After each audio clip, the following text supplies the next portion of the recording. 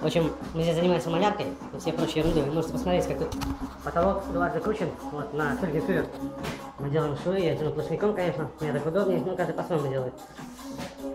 Окна, переделки, в общем, фильтры, вот, значки.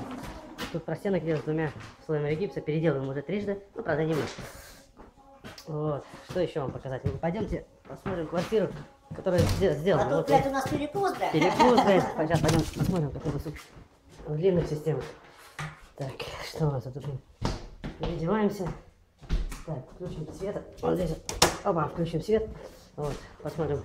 Значит, дальняя комната довольно-таки тепло. Проемы красиво все сделано. Вот, э, ламинатик. Ну, вот в таком виде должна быть квартира, да? Вот там сделано. Уже мебель завезли. Некоторые по проекту.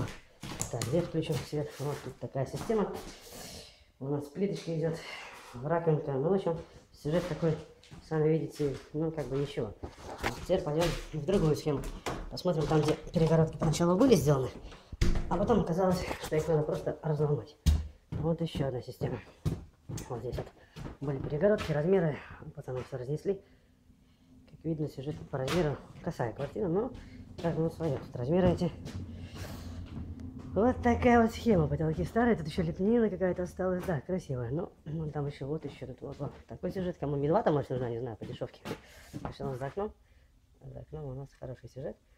Камера фокусирует. Так, вот железная дорога, да, я так понимаю? Да, на мера 105. Ну, дома на продажу, мы здесь тоже, наверное, не зависим. Так что все, всем удачи.